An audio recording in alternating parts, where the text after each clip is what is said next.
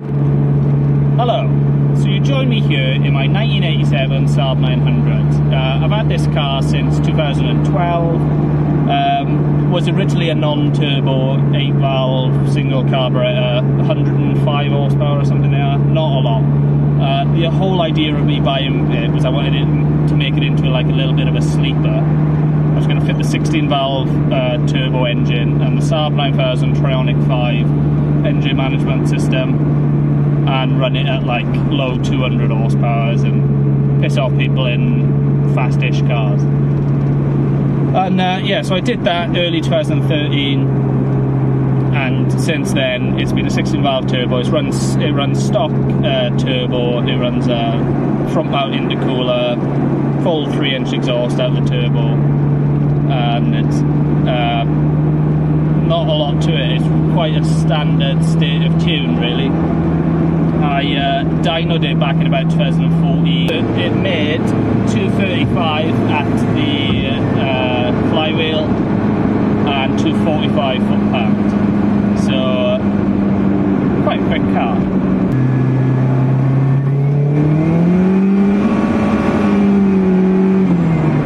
Eighty mile an hour wheel spin.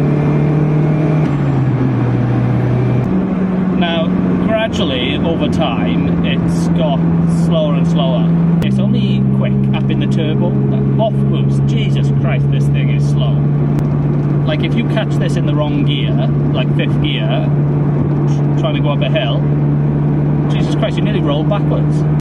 It's so lazy, and it, I've I, I've thought for a good while. I bet it's timing chain related. I bet the timing's slack. The timing chain is so slack. I bet the valve timing's out on it, and that's why it's lazy because it makes all the right turbo noises. Uh, I've yeah, that's what I've thought. So I took I whipped the tensioner out the other day, and lo and behold, uh, I think Saab says max travel of the timing chain tensioner is 11 mil before you need to change the chain. I'm at 15 mil, right? So it definitely needs doing. So I've bought a new chain, and I'm going to fit it. And I bet it'll make it faster. But I thought it'll make an interesting video if I dyno it beforehand, do the timing chain, and then dyno it after. Now I've got a, a, a friend, uh, Mark Burley of MB Motorsports, who has a dyno. So yeah, so that's where I'm off now. I'm off to my friend Mark Burley's. I'm going to chuck this on the dyno, and I'll see how much power it makes. Then I'm going to fit a chain, and then I'm going to come back. I'm going to run it again with the exact same amount of boost, and uh, see if it picks up any power. It, it definitely will.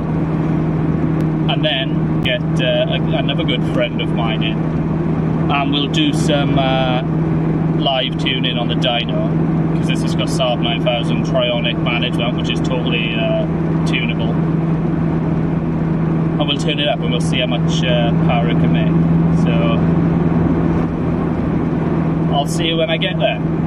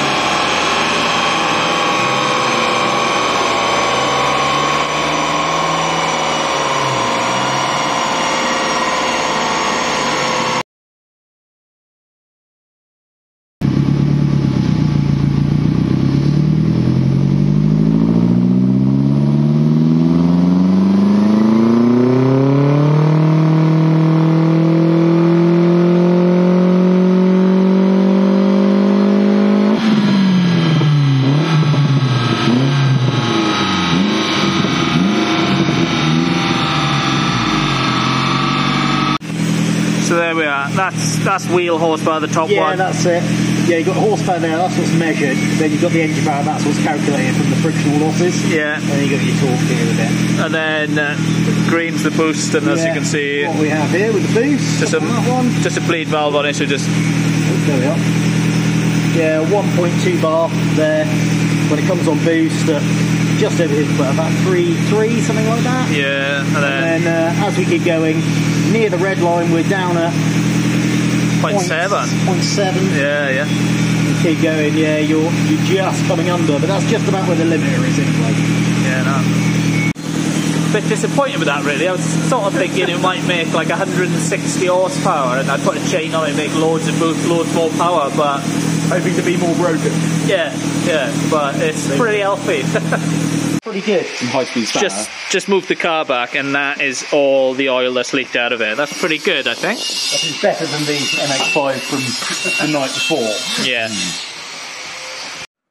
Right, just got back from the dyno. It made 200 wheel horsepower flywheel that was anywhere between 216 and 221 at the flywheel. We run it multiple times. Made something like 298, just shy of 300 newton meters of torque. That was at 1.2 bar of boost on a manual bleed valve. Um, I robbed the boost solenoid off it for another car a while back, and it's just been on a manual bleed valve since then. The plan is to fit the timing chain and run it again with the manual bleed valve, and hopefully it picks up quite a bit of power. And then uh, do a bit of tuning with it, uh, put the boost solenoid back on it, and uh, tune for some half decent power. I don't want to get you guys' hopes up. I'm not even. I'm not shooting for 300 horsepower. It's way less than that. I'm I'm, I'm not going mental. These cars are the gearboxes for these cars have got a bit of a reputation for being weak, and uh, I've been lucky with them so far. So I'm not going mental with it. Mid 200s, that's all I'm after. In addition to the dyno figures, I've got some acceleration times as well from uh, a Dragy. Uh, If you know what one of them is, you, you know. If you don't, GPS accelerometer basically uh, syncs to an app on your phone and mega accurate acceleration times 0 to 60, 60 to 100, 100 to 200k, whatever you want, quarter mile, etc. 60 to 100, I think, is a good uh, benchmark, especially for Saabs. Anything below 60, your wheel spinning. Anything above 100, and the thing's falling apart. So 60 to 100 is what I like to use as a benchmark. Here's the 60 to 100 times. Here's one. Here's another. Uh, I also did 100 to 200k time. Uh, that is pretty slow. That uh, so my scimitar did it in 10. So, yeah, so that'll be some good comparisons for when uh, I've got it up and running again. Big thanks to Mark at MB Motorsports for letting me run on the dyno. And cheers for watching.